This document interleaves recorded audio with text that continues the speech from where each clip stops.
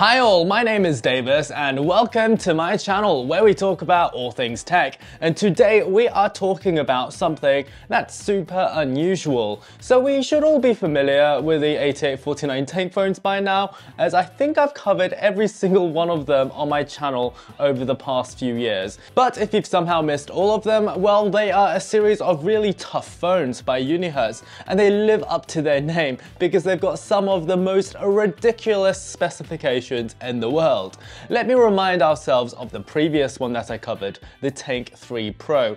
This phone not only weighed as much as a tank, weighing almost 700 grams in weight, that is over one and a half pounds for you Americans, but it was almost three centimeters or well over an inch in thickness. That's six times thicker than the new iPad Pro. While that does sound ridiculous, it wasn't nearly as ridiculous as what they managed to hide inside because it had a completely ludicrous 23,800 milliamp battery that charged at an equally ridiculous 120 watts. But it also had things like a night vision camera, an insane 1200 lumen camp light, it had police lights, and most of all, the signature Pro Tank phone feature, the projector. Yep, while we had seen projectors on phones before, this was the first one that I had ever used that had a projector that you would actually want to use. It was 100 lumens in brightness and it was somehow actively cooled as well, despite being completely water resistant. And with this, you basically could have a 100 inch display with you wherever you went. And because you had the massive battery, you could also enjoy content for hours and hours on end. I think it was close to 12 hours of battery battery life with the projector. I honestly love the Tank phone so much because they are just so much fun and they always get a really good reception when you show people them for the first time. But after the launch of the Tank 3 Pro, you would think that the Tank 4 Pro comes naturally next, right? Well, no, because in my hand I've got the brand new Tank 2 Pro. Confused?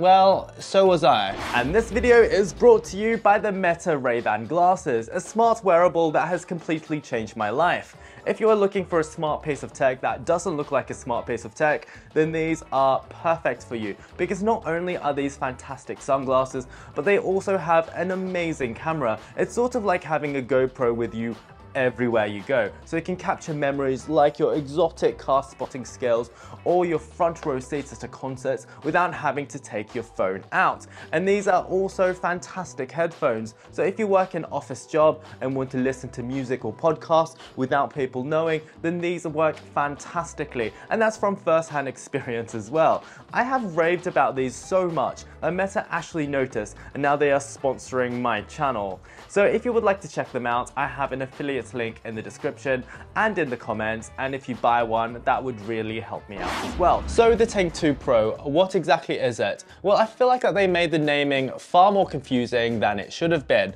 They should have named it Tank 3 Pro Lite or something like that because this shares more with the Tank 3 Pro than it did with the old Tank 2 model. Essentially the idea was to give people a more affordable option if they want the upgraded projector of the Tank 3 Pro and the body style of the Tank 3 phones but don't necessarily necessarily want to pay for some of the other features. So I'm going to base this review slash comparison with the current prices that are listed on 8849's AliExpress store. The Tank 3 Pro currently is listed at 572 American dollars, which is an amazing deal by the way, and the Tank 2 Pro is only $364. So that's basically budget phone money for literally a lot of phone. So let's take a look at the differences. So on the surface, these phones look very similar. They have what looks like an identical Full HD IPS 6.79 inch 120Hz display. And while they are fine displays, they just aren't particularly impressive. They both top up at just under 600 nits in brightness, and it really could be better, especially for a tough phone where you, you are expected to take them outside. The Tank 2 Pro on my unit at least is far better calibrated than the Tank 3 Pro, as the Tank 3 always looked like it had a bit of a bluish display to me. And both of these have punch hole front facing cameras. On the Tank 3 Pro it's a 50 megapixel unit and on the Tank 2 Pro it's a 32 megapixel unit. And what is surprising as well is that while the Tank 3 Pro is 8 grams heavier than the Tank 2 Pro, the Tank 2 is marginally thicker by an entire millimeter but um, yeah, essentially they do look identical. So on the top, we do have the same projector, and you can also see the active cooling, which I've been told does not affect the IP68 water resistance. We also have the same manual focus wheel over here. We've also got the same buttons on the same side, including two different action buttons. And we've also got a SIM card slot here, which is a double SIM plus expandable SD storage. On the other side, we have a fingerprint reader slash power button.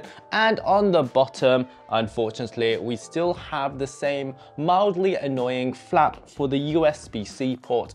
And luckily the headphone jack remains. Um, I do have to say that the build quality on both devices feels absolutely amazing. The combination of rubber, metal and glass really is first class and I can't believe that you can get this level of build quality especially at this price of the Tank 2 Pro. It's insane. Things do look a little bit different on the back, however. Firstly, let's take a look at the camera module. Uh, while the Tank 3 Pro had a 200 megapixel main camera, a 50 megapixel wide angle camera, and also an 8 megapixel telephoto camera, the Tank 2 Pro keeps only the main camera, although it's only a 100 megapixel unit now, and also the 8 megapixel telephoto camera.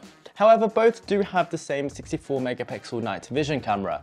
The main difference on the back, however, are the camp lights. Because the Tank 2 Pro brings back the dual camp lights from the original Tank 2 instead of taking the single unit from the Tank 3 model. And on the bottom here, we've got the same super loud mono loudspeaker. I believe that it goes up to 105 decibels, which is insane.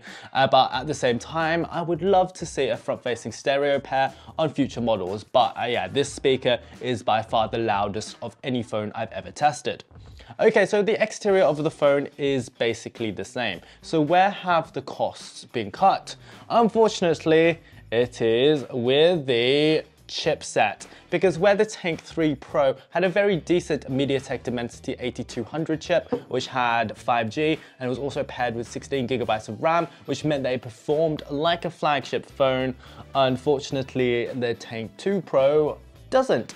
It's saddled with the same ancient MediaTek Helio G99 processor, which I think is the same as the original Tank I mean, it isn't awful, but it only supports 4G, which is close to unacceptable in 2024. It doesn't support 4K recording, which is close to unacceptable as well, and it only has 8 gigabytes of RAM. If we take a look at the synthetic benchmark Geekbench 6, where the Tank 3 Pro achieved a very decent single core score of 1231, the Tank 2 on the other hand, only scored half at 711 and multi-core score was even worse at 1231 instead of 3855. Now I'm not saying that the Tank 2 is terribly slow because it isn't. It's got a 120 Hz screen and it feels decently brisk most of the time. But you do see a lot of hang-ups, drop frames and stutters while you are using the phone and the gaming performance is nowhere near as good as the Tank 3 Pro either. I usually wouldn't complain about the performance of a phone that offers this much at this price. But with a tank phone, the whole point of it, in my mind, is sheer excess. It is the phone with no compromise, where you push every single spec to the limit. And that's what you get with the Tank 3 Pro, because it feels like a phone that can literally do anything. To pair most of these features with a very old processor on the Tank 2 Pro just doesn't really sit right with me. But at least it is paired with Android 14 instead of 13 of the older phone. And to be fair, they do seem to be almost identical, so you aren't missing out on much with Android 13, but please be aware before buying that Tank phones don't generally get Android updates. So what you see is what you get forever. So yeah, be aware of that. Okay, so the Tank 2 Pro isn't the fastest phone in the world, but can it do the other Tank phone stuff? Well, the camp light is still very cool. I've actually used this as a filming light on multiple occasions, so it genuinely is very useful. You can sort of see how bright it is. But what is somewhat less useful are the warning lights, but it is better than the Tank 3 on this front. Because while we do have our usual red and blue, now we've also got green.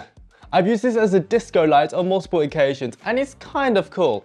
But at the same time, I don't see the ability to make these lights not flash unlike on the older phone. So that is a little bit of a weird downgrade. The night vision camera is just as good and useful as it was on the previous phone. Uh, this could be very good for people who work with wild animals. And we've also got the same insane battery life. With 23,800 milliamps of battery, depending on your usage, you can easily get between three to five days of battery. It really is quite insane. And there is reverse charging too, but it is rather slow. And now let's take a look at the main event, the projector.